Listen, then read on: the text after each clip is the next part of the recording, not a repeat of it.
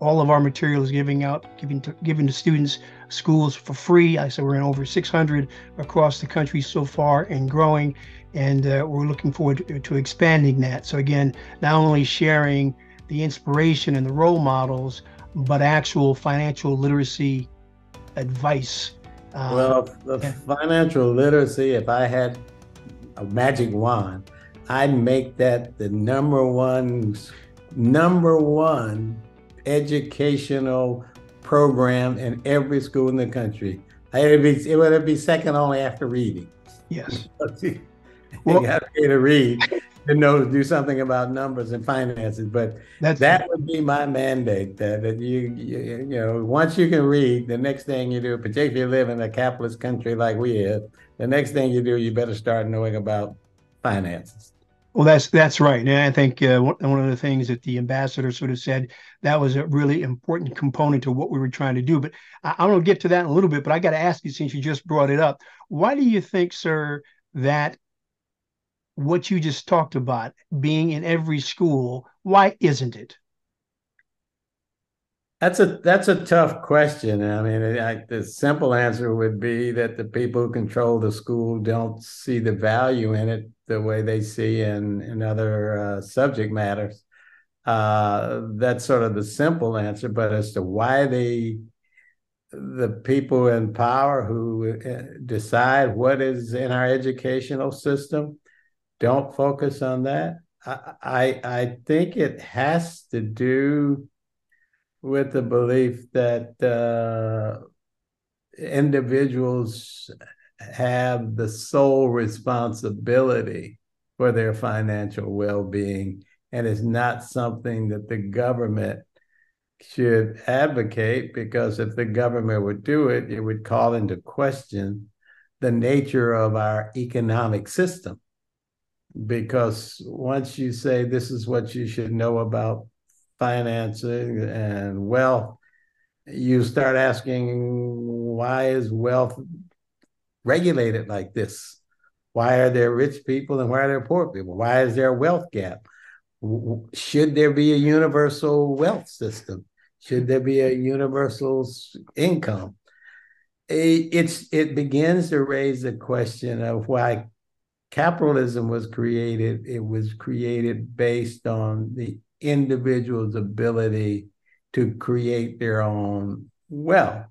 And then we moved into a regulated capitalistic system as opposed to just a free open market system where if you got more money, you had more power. But keep keeping in my mind, remember back in the days that if you weren't a landowner, you couldn't vote.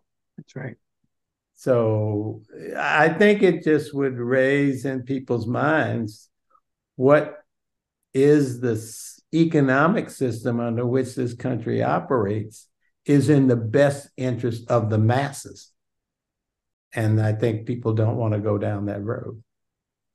And then would you then also say then that by going down that road, then you open up the door to talking about race in America? Well, you open up to talk to you open up the door to talk about human rights and I guess you you can put race on that, but it wouldn't have to be race. You just put it. You can start talking about caste systems. You can talk about uh, wealth ownership. You can talk about a wealth gap. So once you start talking about what economic model you want your society to exist under, uh, then everything becomes uh, discussion. You know, uh, and that I think is is is is because if this were a communist system, they all the government government dictates you got to read, but they tell you what to read. You know, so that's here. You know, so if we start talking about wealth, the next question is what rights do all Americans have to wealth? And that's not a capitalist system. A capitalist system bases wealth on your individual ability, uh, theor- theoretically, your individual ability and merit to obtain wealth. And it becomes a, a government based on economic meritocracy.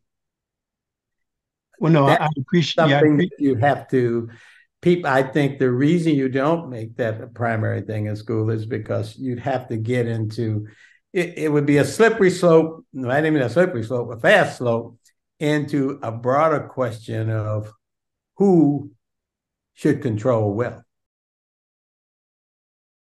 Fascinating. You know, th- thank you for that, Mr. Johnson. And uh, I'd like to get back to that. But one of the things that always fascinates me, sir, is you know there are a lot of people are very familiar with your tremendous success, and people are. I'm always interested in people when people are growing up. They're role models. They're heroes.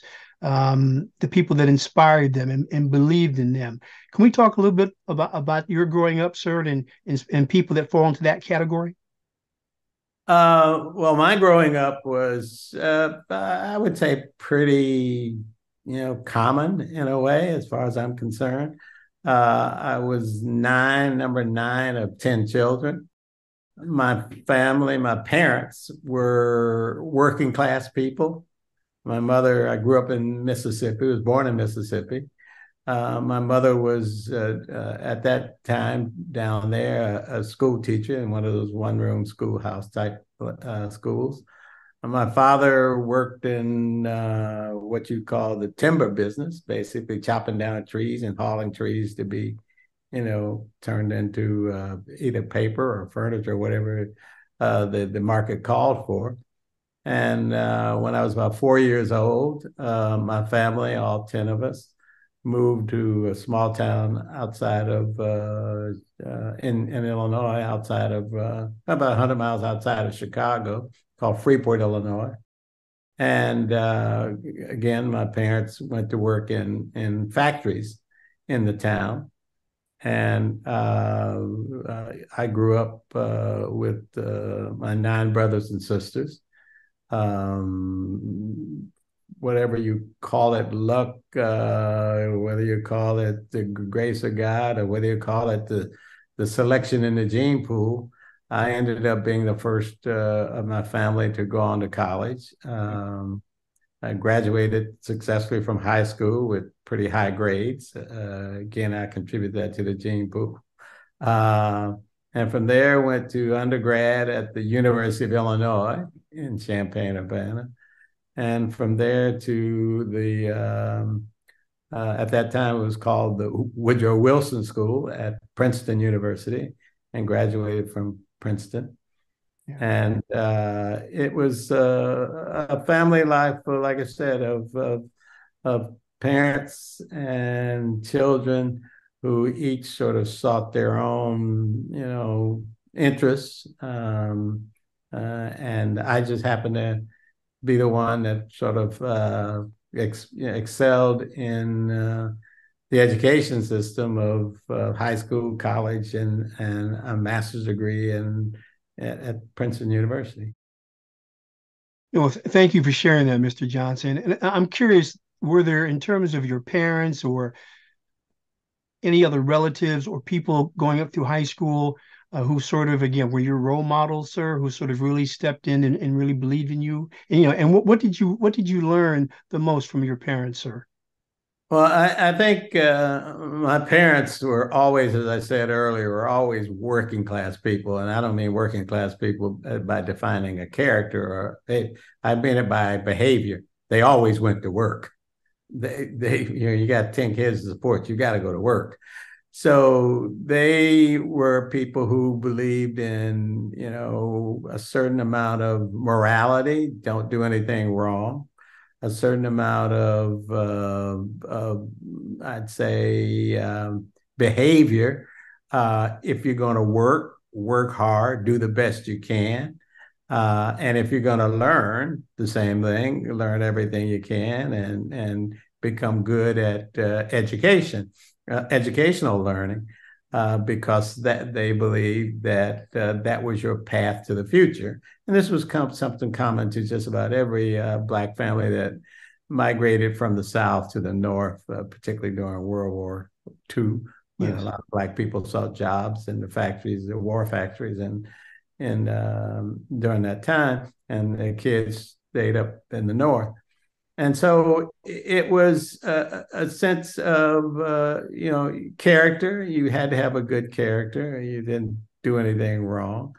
Uh, of course, the uh, and my parents, both particularly on my mother's side, the the church played a big role. So we went to Sunday school and you know Baptist, uh, B, what they call BTU, Baptist training, and it, it was the idea that you should, you know, show good character, um, be kind and nice to people, and respectful of people and do the best you can to be the best you you can whatever it is. And that was sort of the cornerstone of of what I grew up with as a young uh, boy and a man so I'm curious with, with your parents coming from Mississippi from the south coming up north what were the lessons that your parents tried to impart on you in terms of being black in America the lessons of, of race, sir? You know, we um, it's it's it's interesting that uh, when uh, I moved with my parents to Freeport, Illinois, when I was about three or four years old, went to grammar school, kindergarten, in fact, well, grammar school, I guess it was.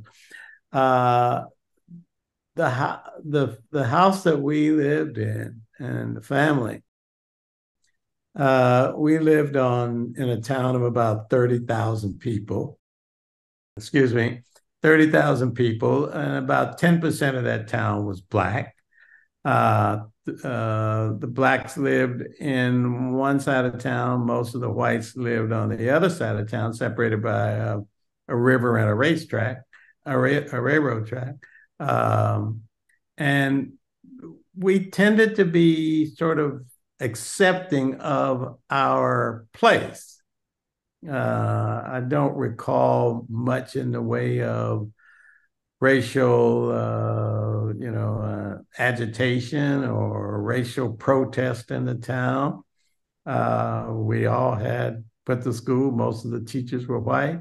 Most of the police officers in the town were white. Most of the doctors we went to were white.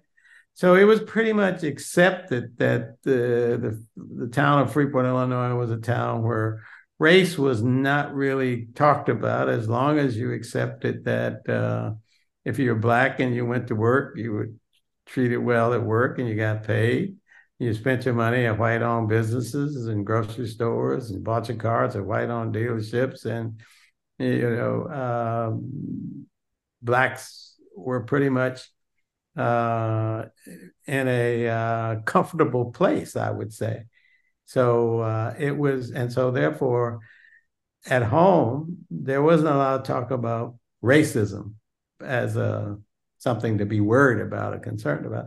And part of that could have been, I think, probably was attributed to that my mother uh, was heavily involved in the church and the black church for a very long time, particularly certain parts of the North, the United Baptist Church, tended to believe that you know, the church and the church's teachings would protect you from anything that was uh, negative to you if you believed and and behaved right and and acted as the Bible teaches you. You know, be good to one another. You know, turn the cheek if someone offends you, you know, that that kind of ideology.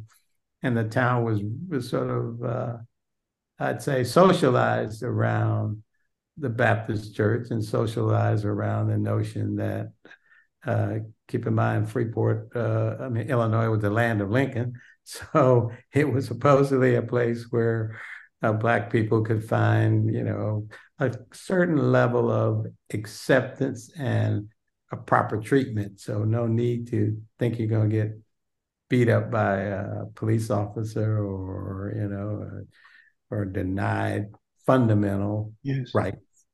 So I'm I'm curious, Mr. Johnson. Then do you when you went off to university, and then later on you get your master's in Princeton, were those same that same I will call it comfort zone or that same pattern that was going on in your hometown. Did that continue to exist, sir?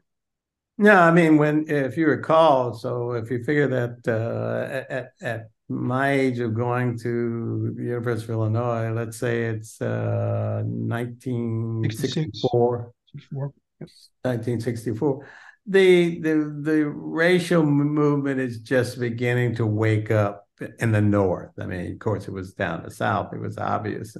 But in the North, it was just beginning to wake up. And I was moving away from a very secluded, if you will, or sequestered town of 3,000 Black people where everybody knew each other to a university at 60,000 people with about, you know, maybe 10% Black students.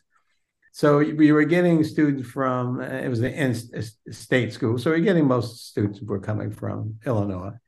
And so you're getting a little bit of the behavior. So it was not an activist kind of uh, school environment.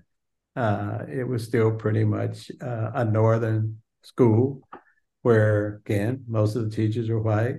Uh, the whole administration was white. And the students came from parents uh, in the north of Illinois, and Chicago and Peoria, towns like that, where it was they were pretty much much like Freeport, maybe a little bit bigger. Obviously, Chicago was much bigger, but you still had that same kind of behavior. I do remember just you know, I would say not um, not something that was on the minds of the 600 students. I pledged a fraternity, and so when you pledge a fraternity, you pretty much find your own sort of friends and your own sort of society of how you operate, and and and so I don't recall any big demonstrations. I do recall black some black students, as you find uh, wanted to be activists and say black people should come together to protest this or that. But the protests were against something that was far away.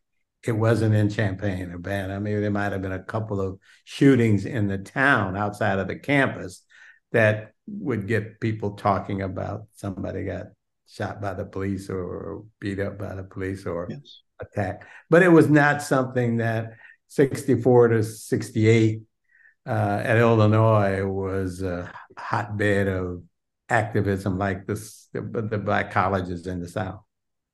Well, I'm curious, sir. Then we're talking about that particular time, uh, the the assassination of the Kennedys, Malcolm X, Dr. King.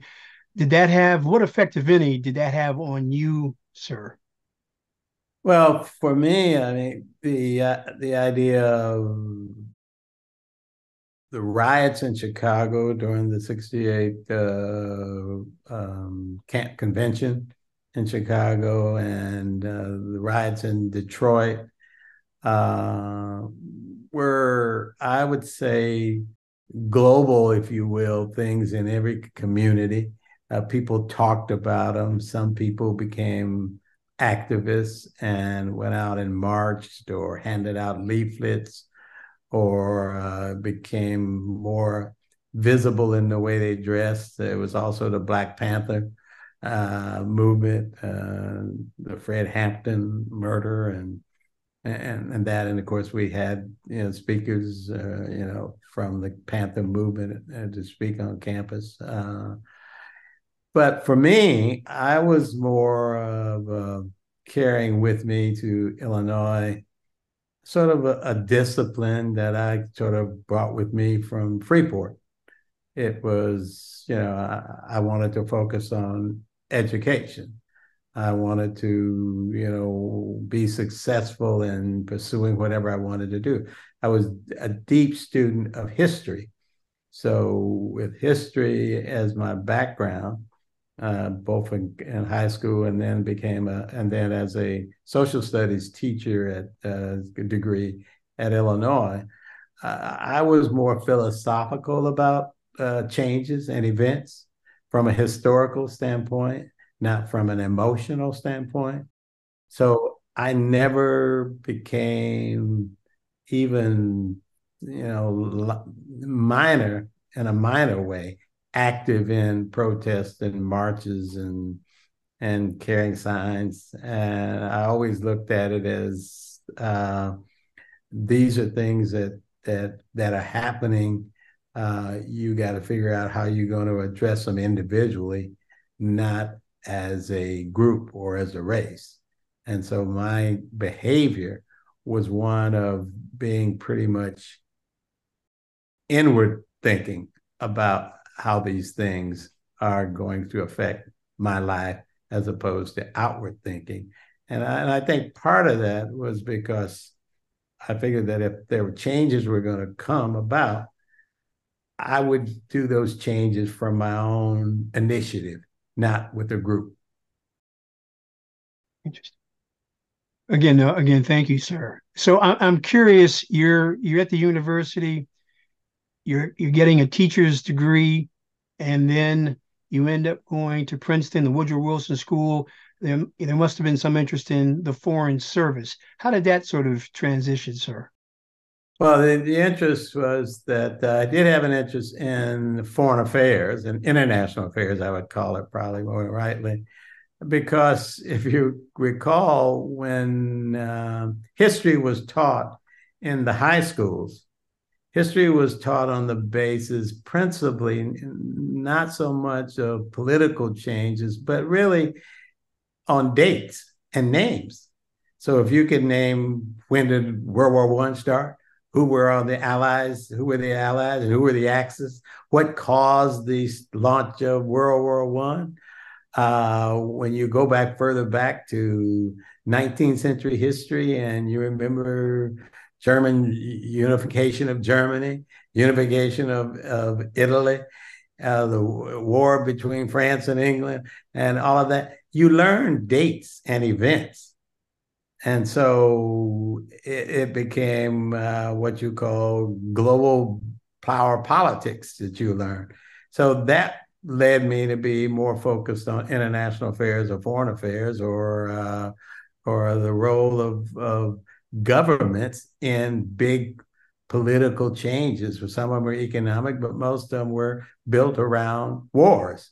You know, Europe went from a war between Britain and France almost, you know, every 10 years. And then you had wars, unification wars in Germany and unification wars in Italy and and conquest of uh, you know uh, territories outside of Europe.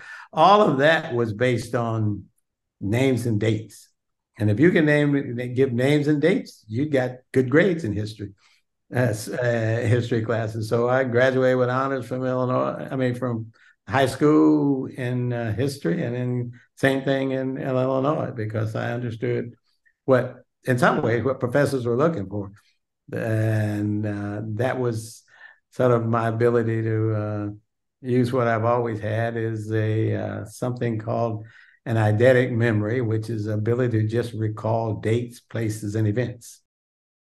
And uh, so that's how I came into foreign service. And then when I graduated from Illinois, uh, there was a program uh, put on by the Ford Foundation to attract uh, black students or uh, black graduates to go to the foreign, to go into the U.S. Foreign Service.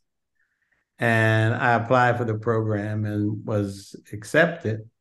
And if you succeeded in completing that program that was sponsored by the Ford Foundation, the uh, Ford Foundation would pay your way to whatever international affairs graduate school, international affairs graduate school would accept you and one of the schools I applied to several schools and uh, to Princeton, to the School of Advanced International Studies at Johns Hopkins, uh, to school in Denver, and another one, uh, the Fletcher School of Law and Diplomacy. And uh, I was accepted at Princeton, and the Ford Foundation paid my tuition to go to Princeton along with the university. That's that's fantastic. And so at that point, because I think I had uh, heard somewhere that you know at some point you were sort of the idea of becoming an ambassador was sort of very intriguing to you. Yeah, I mean, because once you go to you go to Princeton, you go to the Woodrow Wilson School. It's it's all focused on international affairs and politics, and you get uh, tutorials and teaching from people who formerly were foreign services or who wrote books based on U.S. foreign foreign policy so yeah, that was that became my primary interest of uh, one day serving as an ambassador uh, at some point, and uh, because I was steeped in in global history and power politics and geography of power politics. So yeah, that was that to me was an easy step. So then you go on to DC, and what happens there? Because I know you became a lobbyist for the cable companies. What um, what made you decide to go that particular route, sir? Well, that's where I think is if if people look back on their lives and why things happen, and I, I always said you got to throw in serendipity and the grace of God. It's just luck or you something else happened that puts you in the right place. And for me, it just happened. I happened to be at a neighbor's party, and there was a person there who worked in the cable television industry. And uh, in a course of a conversation, we were talking. She said, "Hey, you'd make a great lobbyist for the cable television industry." And I said, "I didn't know anything about cable television." She said, "Don't worry, I didn't know anything about either, but I'll introduce you to the head of the trade association." And I met the gentleman, head of the trade association, and uh, um, he uh, offered me a job to lobby for the deregulation of cable television. Cable television was an infant industry, uh, principally in the mountains and hills, uh, because it provided a way of transmitting TV signals when they were blocked by mountains or or I think uh, trees and forests, because the signal wouldn't go then, and, you'd have to run a cable down from a mountain or hill to, to the town. So it was, it was more of a, a small industry trying to compete with broadcasting, over the air broadcasting. And so my job was to lobby for the deregulation of cable to allow it to compete. And principally, deregulate cable at that time simply meant uh, insisting, passing legislation to require telephone companies to put cable telephone te- cable uh, wires on telephone poles. Mm-hmm. They normally wouldn't do it unless you paid them an exorbitant amount, and they were not mandated. Well, they were they all, they had they had the only the telephone companies had the complete right of way to do it, and no one could just walk out and start stringing wires on a telephone pole. And so that was part of the job. And then later on, it cable became an industry when the technology of satellite distribution allowed for a, a cable signal to be beamed from a satellite circulating the uh, equator to any place on the globe. And that led uh, cable television to become a communications technology and a content distribution technology that uh, allowed everybody to get it once it was deregulated. And so I was sort of uh, uh, fortuitous in being in the industry at the right time of a technological shift and an economic shift in uh, uh access to content. So then you, you you you go from being a lobbyist then to being an entrepreneur starting BET. And again, what was your in retrospect, sir? What was sort of the talk about being fortuitous, but uh, you must have obviously had some serious insight um, and probably some trepidation as well about moving forward with this. How, how did that sort of work, sir? Well, I, I think it goes back. I get this question all the time: What makes an entrepreneur? And uh, there's no real answer. It's just something that's inside you. First, you have to have a work ethic.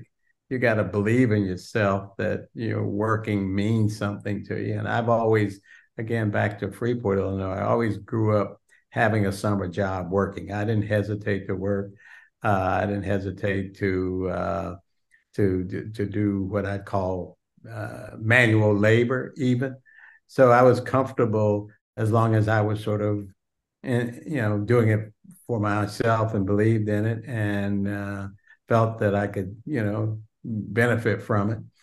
Uh, and so basically, I always believed in uh, you know doing things for myself, and, and never was really a, a, big believer in sort of working for uh, somebody else. Uh, I always uh, I remember when I was growing up, and for some reason I decided to get a paper route, which is a natural thing that you know young boys do. I guess girls can do it too, but boys And the paper happened to be a morning paper called the Rockford Morning Star, which meant that you had to deliver the paper in the morning.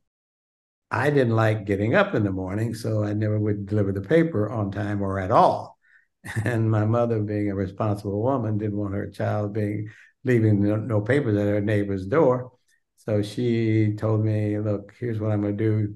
I'll let you. I'll make you. I guess she said make. I'll ask your brother to deliver the morning paper. You do the collection in the afternoon, and you pay him." So I said, "Okay, I'll do that." So I sort of started feeling that you know I had to control my own business destiny by not doing something I didn't want to do. So when I um, got into the cable industry, and on the trade association, uh, most of the people in almost all of the trade associations were business entrepreneurs, and cable was an entrepreneurial business at that time. It was not made of Fortune 500 companies. It was made of, of, of, people who were, you know, some of them just hanging wires on, on telephone poles, and others trying to come up with programs that they could put on it uh, on the cable system. And so I have had to be in the fortunate place, and that's why I say it's fortuitous, happened to be in a place where I'm meeting other meeting true entrepreneurs, almost all of them white, who had a vision about what the cable television industry could become.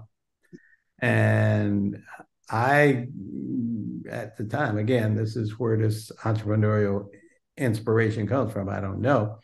But I recognize that cable, in order for it to grow and become a truly scalable uh, a content and just an entertainment enterprise had to be in the big cities. It couldn't survive just being in the rural uh, towns and the mountain hill, hills and mountains. It had to be in the big cities. And I realized that at that time, uh, that the way cable uh, companies got access to string wires in the cities and to operate in cities, uh, they had to get a franchise from the government, from the city council. Well, by that time, this is now the early uh, 70s. Um, most, a lot of big cities, not a lot of, but a few big cities had black mayors, or at least several members on the city council who were going to decide who got a cable franchise. And it, it just occurred to me that these franchises would have to offer black programming. And there was no black programming on the cable systems. Uh, we're all white co- content programming providing program. And uh, again, being a student of history and reader, I sort of followed Ebony Magazine and its history from being a, a, magazine that covered the rise of the black middle class and became the, the black magazine, uh, Reverend Ebony and Jet. And then Black Radio was a primary source of black music content and black enterprise uh, business content. So I said, gee, somebody is going to uh, start a black cable channel. Why not me? And it was the why not me part that I think is what makes a uh, entrepreneur different from most people. There's a belief that you have a vision that can see over the next hill, that you can conceive of something that the average person or even the above average person can't conceive or would want to do. And so I basically said there's a black magazine that chronicles the black middle class that black people read. Are black radio stations they listen to. Why wouldn't they watch black programming on cable if you could get the program to put over the cable system and get it to the household? So that led me to the creation of uh, Black Entertainment Television, BET. The technology was right because of the ability of satellites to deliver the signal into big cities. The regulating the regulatory environment was right since the government decided that cable should be allowed to compete against over-the-air television, broadcast TV, and local TV. And the industry was made up of entrepreneurs who may be willing to give someone who thought like they did a helping hand. And that's how I had a chance to meet a guy named John Malone, yes. who was a large cable owner and who uh, one day told me, Bob, if you have an idea, come out to Denver and talk to me. I'll be glad to hear what you got to say. And so you put those factors together, that put me in the, on the path to uh, launching Black Entertainment Television. Well, I I had seen a wonderful story about what you just talked about with Mr. Malone, and that um, when you asked him to invest, and you, I think it was a half a million dollars, you got the money from him, and once you had the money sort of in your hand, you, you said something very fascinating to him, which is something to the effect of, um, "Now that I have the money, could you give me some some advice on how to run a business. Uh, is that true? That that was fantastic. Uh, that's that's absolutely true. The way it started, it's it's pretty simple. Again, John Malone was an was an entrepreneur himself uh, and a believer in meritocracy. I mean, if he, he didn't care whether you're black, white, or green, as long as you showed a commitment to do the best that you can be with whatever you have, he was going to support you. And so when he asked me how much it would take to start Black Entertainment Television, I told him $500,000. And this uh, conversation took all of about 30 minutes. He said, Well, Bob, here's what I'm going to do I'm going to invest the 180,000 for 20% of your business, and I'm going to loan you 320. So 180, 320 is $500,000. And he said, under that scenario, Bob, you're going to be the 80% owner and I'll be the 20% owner. He said, Is that a deal? And I thought about it and I said, John, that's a deal. What Malone didn't know at the time, if he'd reversed the numbers and said, I'll be 80 and Bob, you'll be 20, is that a deal? I would have said, John, that's a deal. So, uh, and he didn't say that. So it takes about 30 minutes. To, he brings me a one sheet contract or really an agreement with a contract because uh, we didn't have lawyers involved. And he gave it to me and he said, uh, Bob, here's a check, wrote out a check to me for $500,000. I like to say $500,000 was probably equal to the total GDP of every Black person in Freeport. But, you know, I, I had it. And so I said, uh, John, I got some advice. He said, What? He said, Now, so by that time I had the check in my hand, of course. Uh, he said, I, I said, I've never run a business. What advice can you give me? And he said, Bob, it's very simple. Get your revenues up and keep your costs down and that was my Harvard MBA uh, thesis on how to run a business: revenues up, costs down, which I keep to me this day. Yeah. And so that was how I how BET got its start with that five hundred thousand dollar check. And when I look back on it, is I think that one of the things that I think is most needed in this country, which doesn't exist, is that there needs to be more people like John Malone to help young Black entrepreneurs and visionaries who have ideas but lack not only capital, which he gave me, obviously, but great advice and guidance. John Malone stayed on the board for BET for 20 years until we sold it and uh, never sold a share of the stock and made a lot of money when we sold the company. Uh, that's that's a great story, sir. So I'm curious, and I, you know, I don't want to. I know there are probably tons of stories you could tell here, but when you look back on it, the one or two sort of pivotal moves you made that turned the company into success, and maybe one or two of the uh, moves that maybe in retrospect you regret making, sir. Could you just sort of briefly touch on that? Well, the, the moves that made a success, it was in the right place at the right time. There's no other way to say it. BET could not have existed without the technology that came from the launch of uh, stationary satellites uh, circling the globe, allowing a signal to be transmitted up and then signals transmitted down, giving making cable programming available across the whole country, if not the whole globe ultimately so that's something that I had nothing to do that that was RCA and some of the other uh, technology tech companies at that time. Uh, uh, so that and then of course I think obviously without John Malone, not only being the investor, the founding investor, but also leveraging his clout in the cable industry to encourage other cable companies to allow BET to get to scale. Uh, he, he did just say, here, okay, fine, I'll put you on my systems. Goodbye. No, if I needed him to talk to other large cable operators to say, why are you doing business with this black guy? He would be there to support me and say what my vision was and what my ability was to execute on it. So those are the two things that really made the difference. Uh, on the uh, on the negative side, I, in a as a entrepreneur, you very seldom look back and say what you did uh, could have been done better to uh, make you, you know, make you what you could have made more money because that's what the end game would have been. You could have said I could have produced a better program, but that's not, uh, you know, something that to me is meaningful to say that's a failure. You know, I didn't do these kind of programs. Uh, there are strategic decisions you you pursued.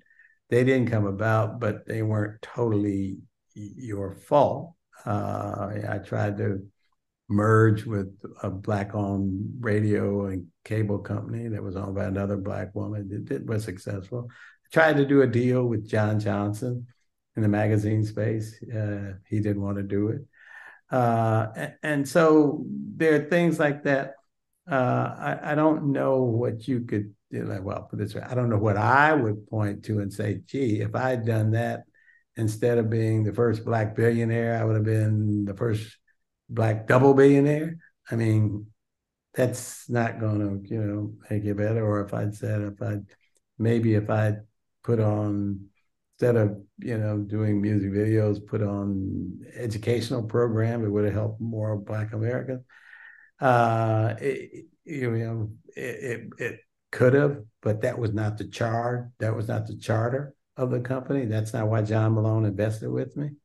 Uh, he invested me to create a business in the cable industry focused on entertainment and something that would be valuable for him mm-hmm. as a partner. So uh, you you got to look at it. At least I have to. I I have to look at it from what was my purpose from day one, and my purpose really was I owe an obligation to John Malone to make his trust in me to create a successful business happen. That was my primary driver. And then second to that was to make the people who work there benefit from the benefit that as I did. And so I was very proud that BET, when it went public and then was sold, created more black multimillionaires than any company that's ever existed. Because the people who work with me started with me on the ground floor. And as the company went from being launched to going public and then going private and then being sold, their economic value went up as the value of the company went up. Yes. And that was because I decided that each of them should have ownership shares in the company as I did. And if we were successful, they would benefit. If we failed, they would be in the same condition that I was in. Well, I'm curious, do you, in terms of fear, the fear of failure. Does that exist for you, sir? No, I mean, because I, I don't think the fear of failure really exists in any entrepreneurs uh, at all. I think they they don't look like they're competing against somebody. They may be focused on trying to make something happen to the best of their ability but that's that's not a fear. It's more of a I use the word disappointment that it didn't quite work the way they hoped it would work. But I wouldn't put that under a, something word of a fear. fear. I think probably some people probably misgot fear with fear of of uh, success. Probably fear of that, not a failure, but not sort of reaching whatever they thought they could reach. But I've never had that idea of a fear. fear I've had a fear of competition. And if you can argue that competition could cause you to fail, I mean, that might be the same thing, but it was fear of can I compete with somebody if I don't have all the pieces together? But that's that's a natural behavior that everybody has, whether mm-hmm. you're a football player, basketball player, or a tennis player. So, it's sort of a two part question in terms of advice to young people about becoming an entrepreneur, the steps they should follow. I know you said it's it's a varied path, but I'm curious what when Bob Johnson looks back on the Bob Johnson of his teens and 20s, what advice might you give yourself?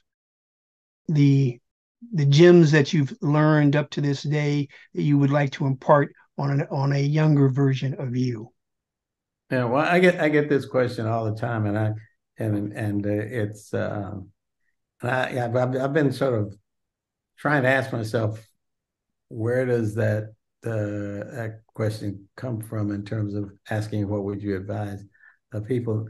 Mainly because it's difficult to answer because I, I don't know what's in the person's makeup what's in their heart what's their purpose goal objective and if it's in being a business person or an entrepreneur if somebody told me i want to do this the first question i want to be this the first question i'd ask is why?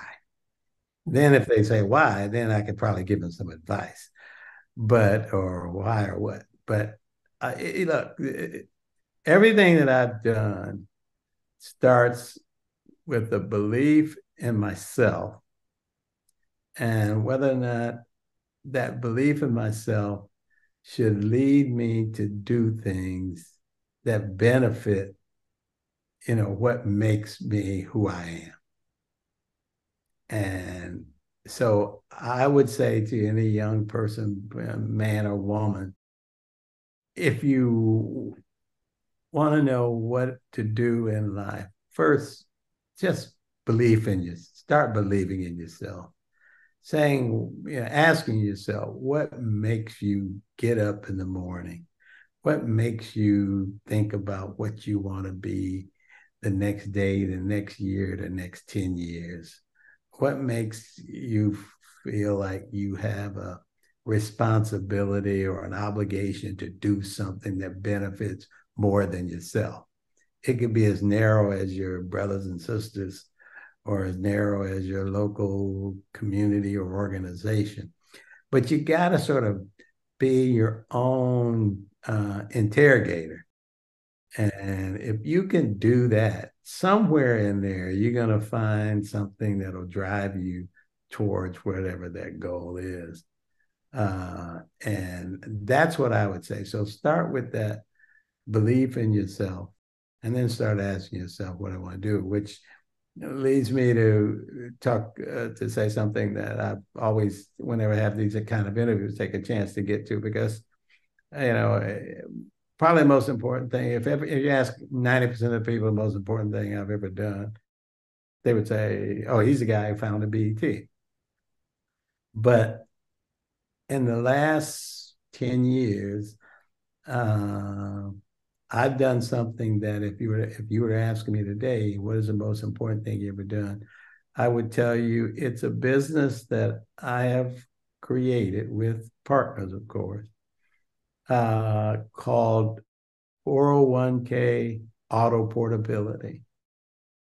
What it is, is I was able to secure the financial and strategic support of five of the largest asset management companies who manage 401k accounts so that you know when you get a job most companies have a 401k where they put money in, you put money in. And then that money goes into investments and you can take it out without penalty when you retire. And I've been able to convince and bring with me uh, the largest companies with trillions of dollars of what they call uh, assets under management. And the fundamental purpose of this uh, consortium of companies that I put together uh, to manage 401k accounts, the sole purpose of that company uh, is to reduce Black Americans from cashing out of their 401k retirement accounts and having no money whatsoever for retirement savings. And it's a complex technology, but it's a simple process that these companies manage over 60 to 70% of all the 401k accounts of corporations in this country. But heretofore, when you leave a job A, let's say you work for Home Depot, and you leave that to go work at Lowe's, these companies' technology would not teach, would not talk to each other from a standpoint of technology. So you wouldn't know where your 401k would go. Or the companies not wanting to be involved in tracking your 401k would ask you when you're transferring from job, quitting or leaving. They would ask you, particularly people with low wage work, low wage 401k accounts, which is mostly black people and low wage workers, that we can cash you out and you can take your 401k money and go. Well, two, three things happen when you do that. One, you lose this long term savings. We were talking about financial literacy. You lose the saving. Two, you pay taxes on when you cash out. And three, the government penalizes you because they want to keep it in there for your retirement. Well, what we've been successful in doing by combining this consortium of Fidelity, Vanguard, Empower Principal, TIAA, and Alight into one committed consortium is we believe when this program is fully uh, implemented as it starts in October, October this year, it will put over a generation or keep over a generation $619 billion into the retirement accounts of Black Americans. That to me is what I call asking yourself what do you want to do with whatever uh, vision or entrepreneurial skill or assets you have? Find something that you want to do. It didn't have to be this. Yes. It just has to be something. And to me, when I think of what black businesses have done and what black businesses can do, to me, if if, if black business were to look at themselves, white business as well, for that matter, and say, what can I do that would change the economic, social welfare of 40 plus, 50 plus million Black Americans? It doesn't have to be all, all of them. Just say enough of them that I can do this using my economic uh, skills, instinct, and uh, vision. That to me is is what I think is uh, you know, if I, somebody had a choice, you would you want me as the founder of BET, or you would found be the guy who put six hundred nineteen billion dollars into retirement accounts in Black America. I choose that one in a heartbeat. Yeah. No, that, that's that's very powerful, and I and I'm I'm gonna leave you on this note then, and I think I know the answer, but why do you think so many black families end up cashing out, sir? Well, first of all, is you have to go with the reality. The reality is Black Americans are not sufficiently fin- financially sufficient to have accumulated savings. That's one. And that's due to partly racial discrimination and being at the lower rung of economic uh, wealth creation.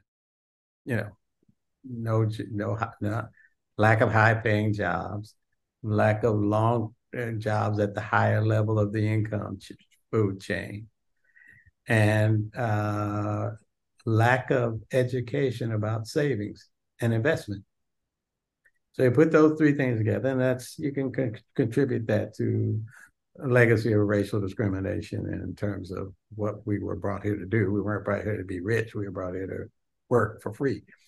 So uh, when you look at that, and so, to the point, when a black person leaving a job and they don't understand the, e- the economic viability of a 401k savings account, they will look at it as discretionary income. I want to go to homecoming. I want to buy some expensive shoes. I want to buy, you know, this. Or that's one of what I call just sort of uh, using money for your own personal discretionary. Or I've got needs. The roof leaked. The refrigerator went out. And I got to fix the refrigerator. I got to fix the leak. And it cost me $3,000. Where can I get it? I can't borrow from a bank. I don't have the credit availability. My job won't pay for it. I got a family of three or four I got to take care of. What do you do? You change job or you move around. And then the guy says, I can give you $3,000 your 401k account. You take it.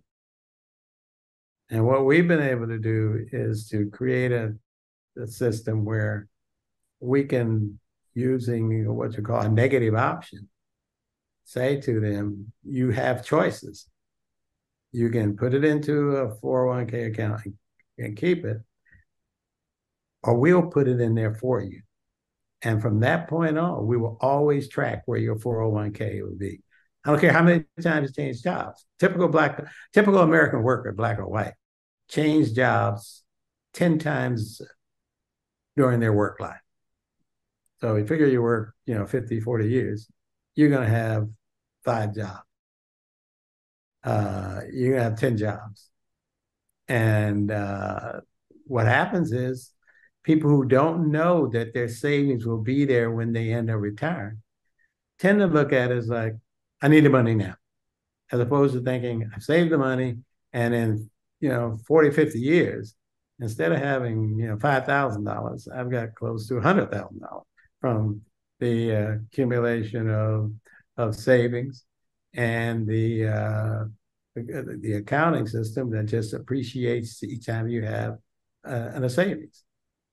Uh, so that's where I think we need to focus on how do we get people back to the first question you asked.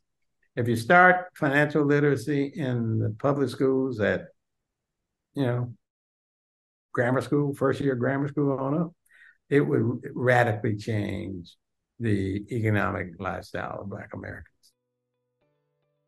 No, well, no, thank you for that. And I, I would, uh, I'd love to learn more about this and uh, talk to you about figuring out maybe there's a way to incorporate you know some of these ph- phenomenal things that you're doing with uh, showing young people the benefits of again learning financial literacy and then waiting uh, you know to retirement to really benefit from these 401ks so i would love to learn more about that okay well thank you very much